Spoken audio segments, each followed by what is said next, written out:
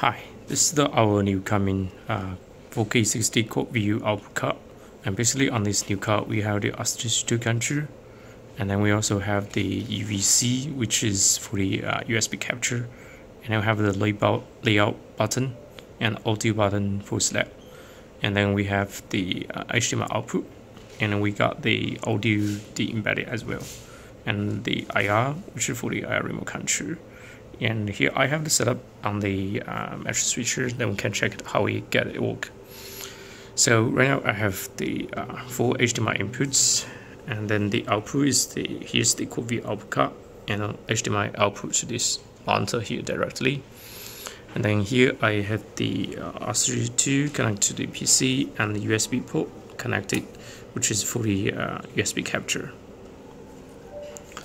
Okay so now I'm going to show you how we do the uh, controllings and firstly let's just do the uh, controllings on the matrix switcher okay so this is the uh, matrix switcher WebGUI control and we can check out how we do the uh, controllings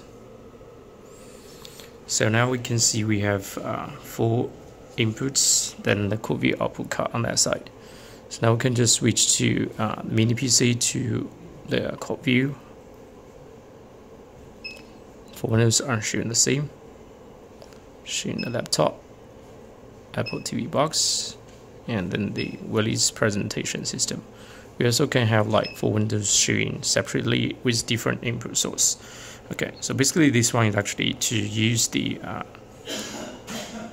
matrix switcher to control. But if we want to control the layouts firstly we can just press the buttons layout button on the uh, card and we can do the controllings so with this new one, we can support the uh, one notch and three small window on this one, these layouts.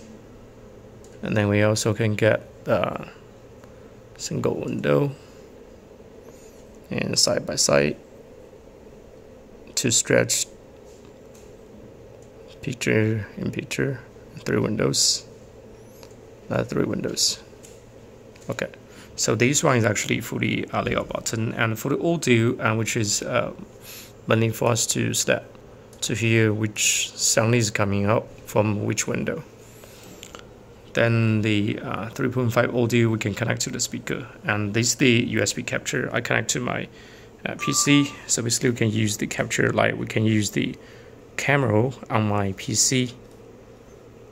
Okay, so as you can see, we already got the uh, USB capture from the QV output card. We can capture all the contents on the exactly the same on the uh, video wall, except the using the camera, but we also can use like the OBS and those uh, captured software.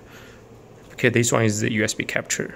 Okay, so except the USB capture, we got the RS232 control. Uh, let's just go back to the uh, RS232 control software. We can check it out. Okay. So for the RS232 control, and basically we have the uh, commands the baud rate is 115 200 and then we can use uh, the ASIA ASCII the string commands. Okay as long as we get uh, have the get help then we can get the commands list here as we can check it out. So basically we, with this new one we also can just rotate the uh, windows each window. Like we are going to rotate this window. We can just do the rotating. Okay so we can check out the rotation. Commands will be like this one. We can do rotate 90 degrees. Okay when one put one check it out.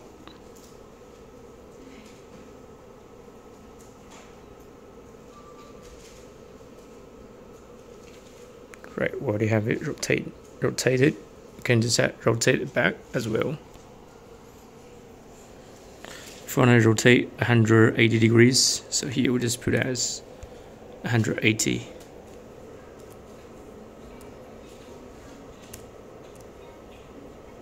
then send.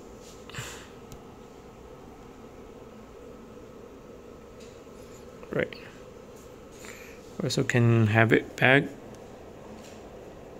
Just put zero Okay, now we already have it back.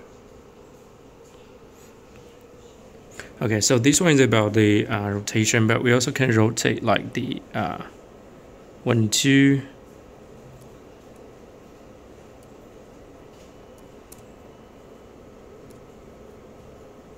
rotate 90 degrees. Okay, rotate, rotate. Right, when I have that one, rotate 90 degrees. Rotate back, just set as zero. Okay. We also can set up the uh, resolutions, like right now if we have, uh, we can set up as 4096, 4096, and by 2160 and 60 hertz. Right, okay, then we'll just send the commands.